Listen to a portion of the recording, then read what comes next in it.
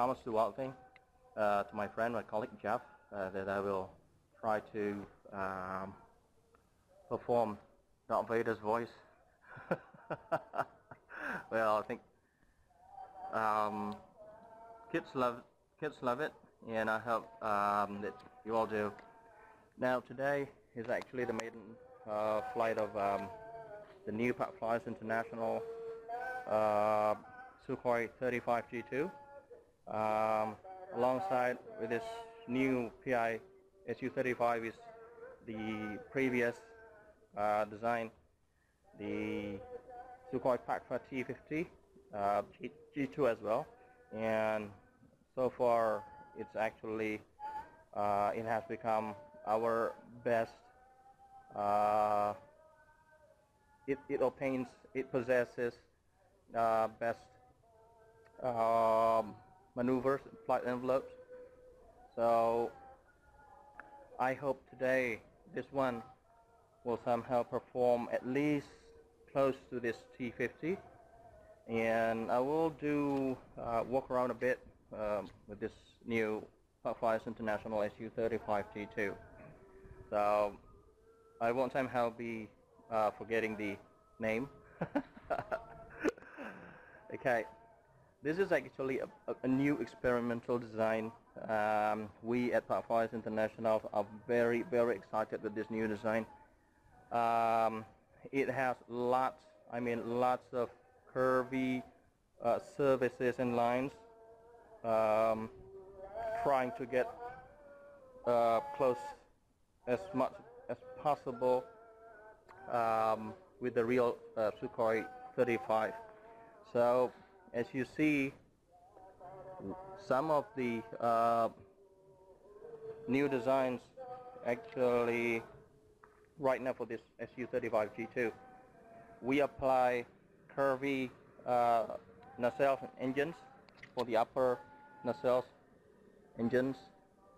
And we don't have uh, sort of emulated uh, thrust vector here because it's just um, elevators. Both unlike the T50 which has um, control services uh, on the prop wash. And if you see the if you can somehow see the uh, curvy sort of uh, nose round nose from front of the plane it also uh, describes the sort of angled uh, front nacelles, angled out, right?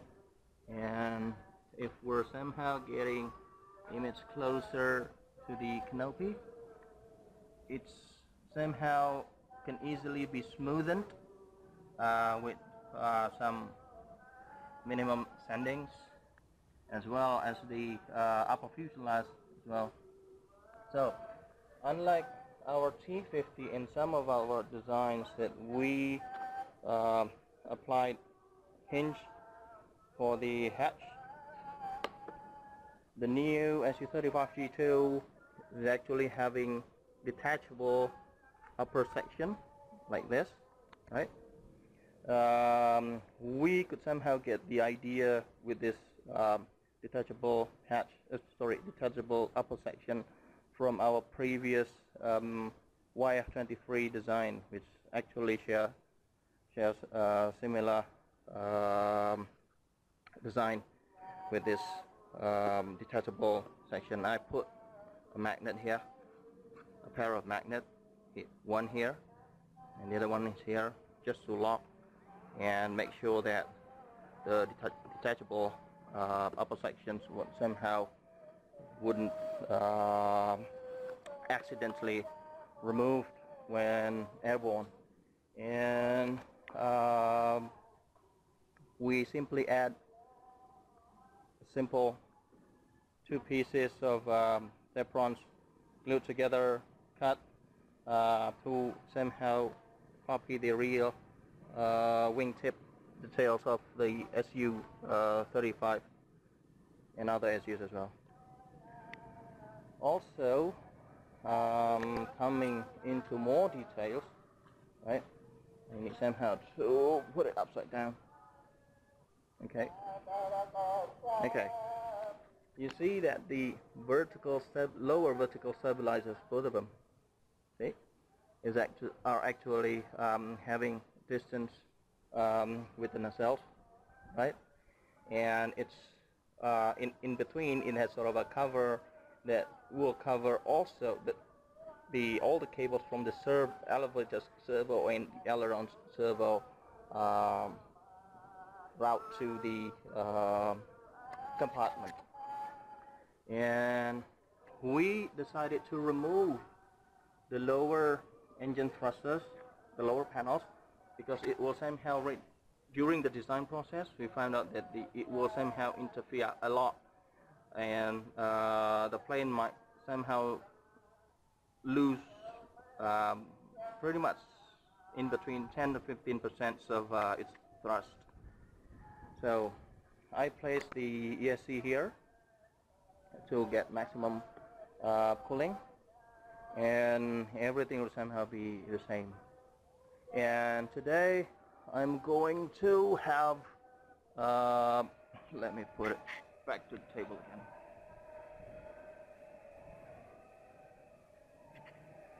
to have four rows having four services uh, both ailerons and both elevators to perform banks, banking, rolling, and just elevators to perform uh, pitch. And I added a small detail which actually looks very, which looks very very nice. The OLS uh, sensor made it from two pieces of Teflon and then uh, manually sanded, cut it and sand it, and then place it in front of the uh, right side of the uh, canopy. So I'm using uh, DYS 2600 kV motor. It's um, if you can somehow read the text uh, here, it's PE2208 uh, to 16 2600 kV with a 6x4x3 master air screw propeller as well as Hobbywing If I'm not mistaken, it's it's it's 40 amps ESC. And currently, since I'm getting this new RX, the Delta 8. It's compatible with my um, Eversky XGT as well as uh, Futaba, so I'm gonna try this uh, receiver uh, on board this maiden flight of the SU-35G2. Okay, I guess that will somehow be all for the uh, short walk around. I hope you guys will somehow uh, enjoy the maiden flight. By the way, today's wind is actually quite strong. Um, as you can see, the wind somewhere probably around 9, 12, 15, or sometimes, sometimes even 18 uh, knots. So I hope I could somehow make make a move, a good maiden flight movie for this um, SU-35G2. Okay guys, um, let's pack things up and then get this uh, beautiful SU-35G2 airborne on its maiden flight. Um, frankly speaking, a bit, I'm a bit nervous right now, but uh, hopefully everything should somehow be okay. Let me try to do a thrust test.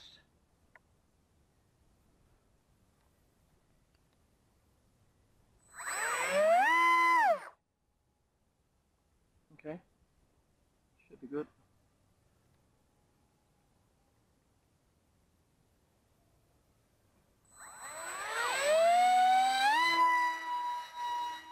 while it's flying.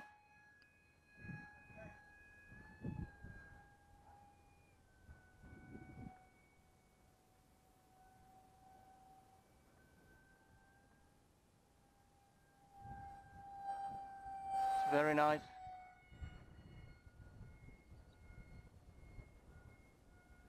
I need somehow to do a slight trim to the right.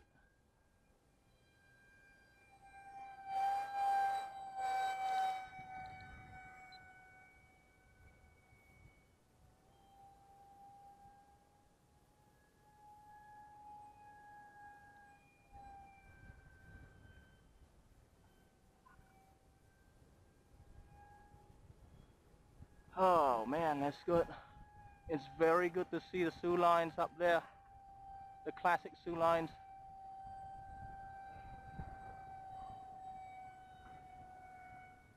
It's quite stable um, with such windy condition right now.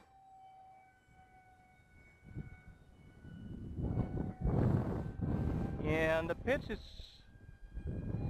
quite responsive. Whoa, it's it's wiggling because of the wind. Um, let me try to focus on this plane and I'm having no comment at the moment.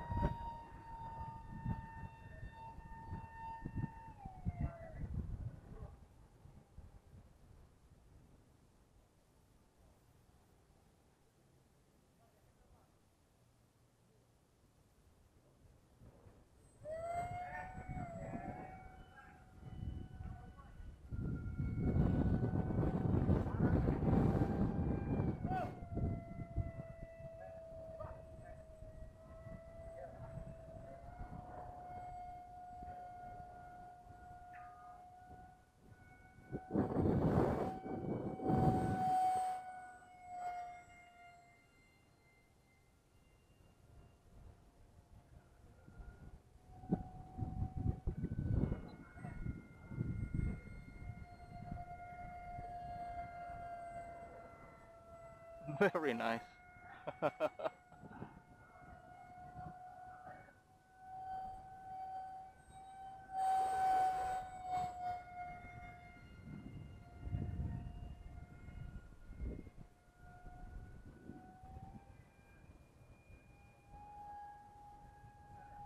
Try to have falling leaf, but I don't know whether it's gonna be good or not.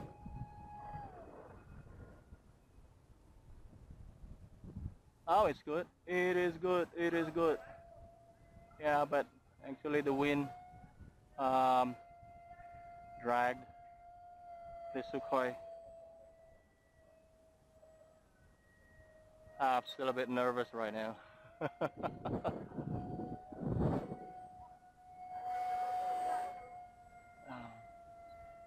I don't know whether it can do Cobra or not. Let me try it first.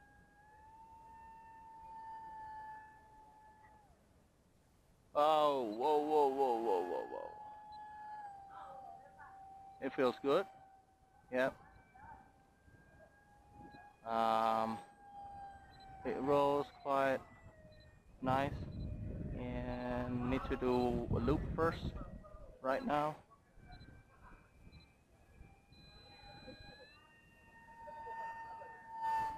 A loop. Wow, it's very pitch sensitive. I had to throw at about 70%.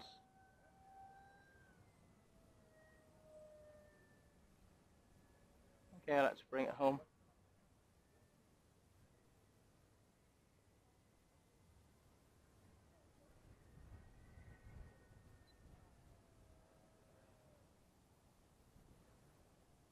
Very nice touchdown. Finally, I can see my own uh, SU-35 G2 uh, finally flew very, I mean very, very well. It, um, it somehow looked very, very nice in the air and on the ground. Um, it has very good pitch sensitivity, uh, very good roll rate, and it did loop very well.